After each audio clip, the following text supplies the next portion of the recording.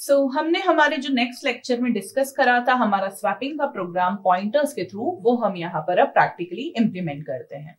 तो so, सबसे पहले हमें यहाँ पर हेडर फाइल्स ऐड करनी पड़ेगी। So include IO stream dot H next header file हम इंक्लूड करेंगे conio dot H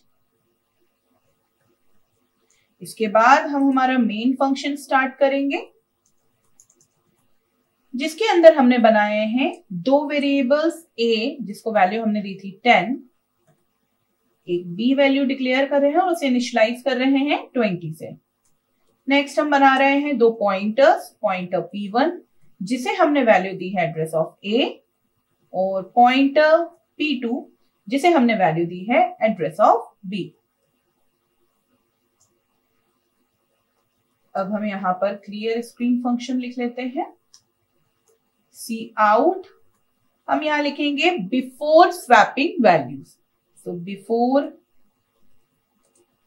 swapping new line से ए की value equals to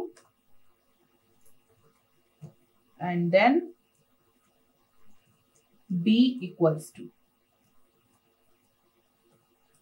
और यहाँ पर इन दोनों के बीच में हम स्लैश टी लगा देते हैं फॉर टैप शिफ्ट अब हम यहाँ पर हमारा कैलकुलेशन परफॉर्म करते हैं. So point P one equals to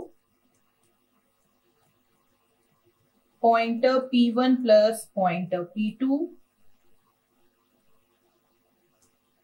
pointer P two equals to pointer P1 minus pointer P2. Pointer P1 equals to pointer P1 minus pointer P2. So so, जो अभी हमारी P2 की अपडेटेड वैल्यू है उससे हमने यहाँ पर पॉइंटर P1 में माइनस करा है नेक्स्ट अब हम यहाँ पर प्रिंट करा रहे हैं cout after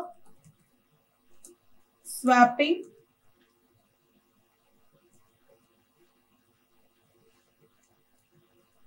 a equals to